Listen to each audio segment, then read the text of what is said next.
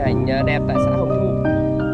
Đây, các các con rất là đây chào các con. Bán hàng ở chỗ này nguy hiểm quá. Bán đâu khác